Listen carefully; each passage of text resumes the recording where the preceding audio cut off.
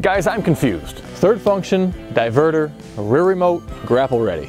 Okay, these are common terms that kind of all apply to the same type of remote that we're going to talk about today. That's where the confusion lies, right? There's so many names, there's very little standardization. I'm going to give you my take on it. It might not be your take, but it's how I'm going to explain it to you if we have a conversation. I did a video recently about 15 attachments for a third function. Several of the comments in that video said I got it wrong on what a third function is. And that's what I want to discuss today is how do we interpret a third function? Is there a standardized system or do we kind of have to read between the lines, maybe visually see the machine that we're looking to buy, figure out what we need to set up our equipment and the position of it on the front, in the middle, or the back?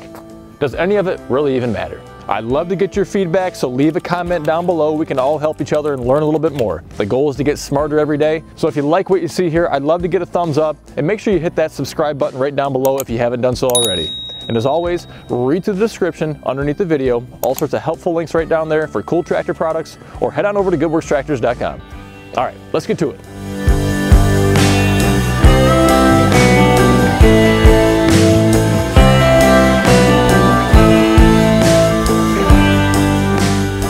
Dissect this a little bit. We're talking about a function, all right? Not the third, it could be the first, the second, the fourth, the fifth, but a function in general on a hydraulic system could be called a circuit as well. Pretty much any modern era tractor that has a front end loader is going to have two hydraulic circuits. So you'll have two hoses down here with corresponding outlets that are on your machine. That is going to be one hydraulic circuit. It allows the flow to go this way and maybe raise your loader up and then it allows the flow to come back through the other hose the other direction so that you could lower your loader as well. Now if we work our way up, this next set of hoses is going to be the second function or the second hydraulic circuit. So if the flow goes through the hose this way, it's going to allow you to curl the bucket back. If the flow comes back this direction, it's going to allow you to dump the bucket. Now what you see here on top is going to be that additional function or this additional hydraulic circuit. So what that allows you to do is maintain the first two circuits add on a third function. So if you have a grapple connected to your front end loader, not only can you raise and lower, you can curl and roll, you can also open and close. And again, that's controlled by hydraulic flow going one direction or another direction through those hoses. So two hoses kind of makes a circle or a loop and allows that functionality to be complete, that circuit to be complete going both directions. So now that we have a basic understanding of what a third hydraulic circuit is, let's explain the different variations of what that is, primarily a third function versus a diverter kit. They're gonna both give you a additional hydraulic circuit, that third circuit that you need to run something like a grapple. However, they're gonna function differently. Let's dive into that now. Now, I don't want you to pay too much attention to the location of these hoses, the location of these couplers, the location of this third circuit. More importantly, I want you to understand that what's found on my 4066R, for example, is gonna be a third function control. So this is a factory option. You can get aftermarket third functions as well, but this is gonna be plumbed into your tractor's hydraulic system in a way that allows you to control not just the first and the second, but the first, second, and third hydraulic functions all at the exact same time. So you can run hydraulic flow from your tractor through all of those hoses, all three of those circuits, to raise and lower at the same time as you curl and roll, and at the same time as you open and close a grapple. For example, third functions can be used for other attachments. I'm not focusing on that. We're just focusing on functionality. Now the other primary variation of that third hydraulic circuit is known as a diverter kit or a diverter valve. So instead of being able to use the first circuit, that second circuit, and the third circuit at the same time, you're going to tee in to those hoses, into the fittings that are part of that curl roll function. So you're going to tap into that second hydraulic circuit. You're going to put in a diverter, hence the name, which is essentially going to have a solenoid or a little valve on it. So it's going to send a, a signal to the solenoid, solenoid. Solenoid. Chris gives me garbage for that all the time. The point being, you're going to get an electrical circuit. It's going to divert the flow from your curl roll function. And as long as you have that uh, redirection going on, it's going to send that hydraulic flow to your third circuit to instead of curling and rolling, you can then open and close. So you are diverting the flow from that second curl roll function to the third function of opening and closing the grapple. So as you can see, a diverter kit is a way to get that third additional, that third hydraulic circuit. However, you just can't use all three circuits at the same time. Okay, so if you've made it this far, let's see if this next part confuses you. Is a third function and a rear remote the same thing?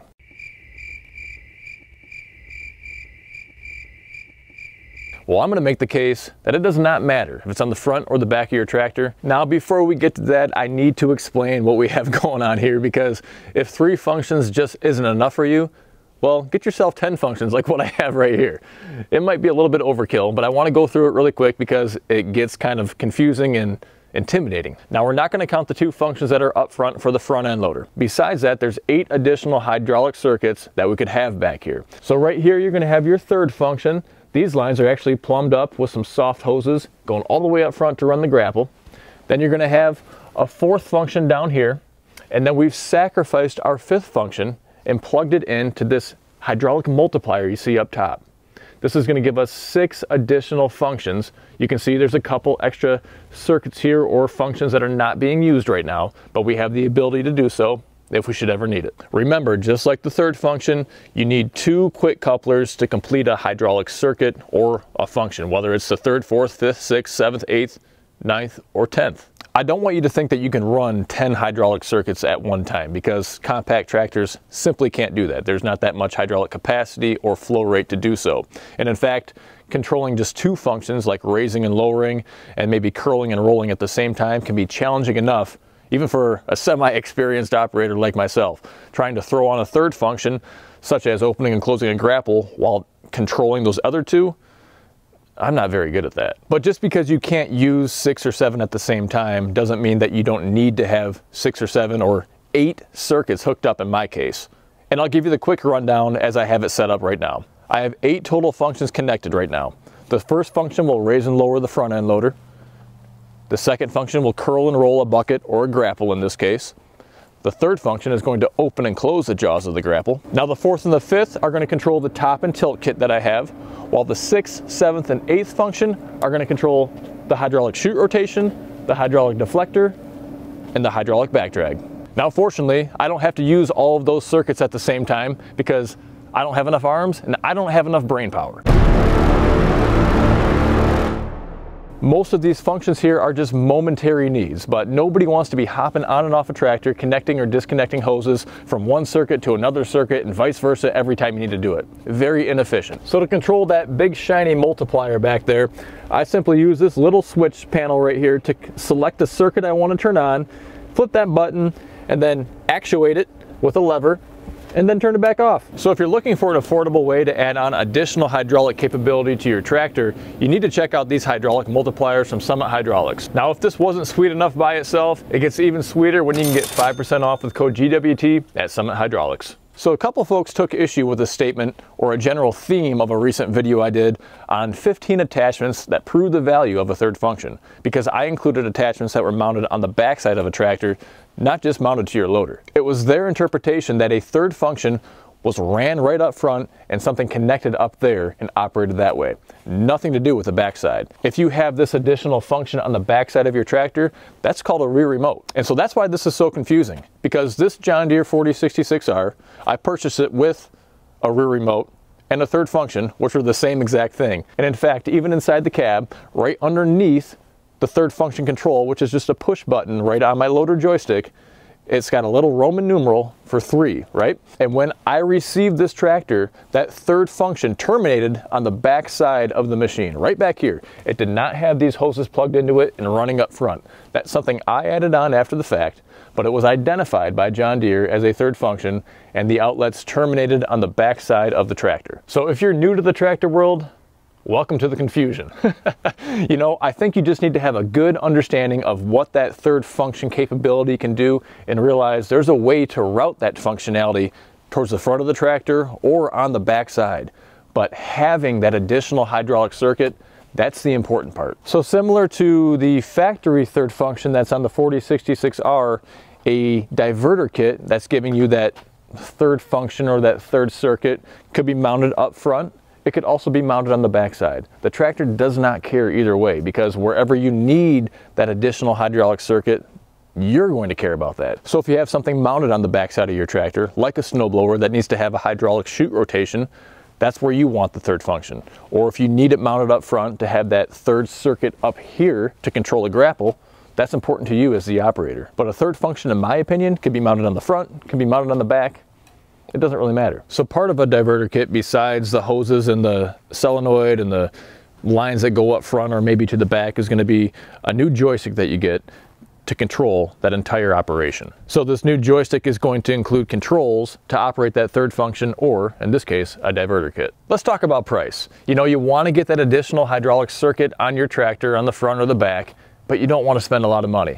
Well, a diverter kit might be the way to go. Typically, you're gonna spend five or 600 bucks, maybe somewhere in that ballpark, to get a diverter kit and get that additional circuit mounted on your tractor. However, if you wanna get a factory third function, like what you see on my 4066R, you could spend possibly 2000 maybe even $2,500 if you get those grapple lines that run all the way up front as well. So if you want to get the functionality of the third circuit, but you don't want to spend thousands of dollars on completing that process, maybe a Summit Diverter Kit could be the solution for you.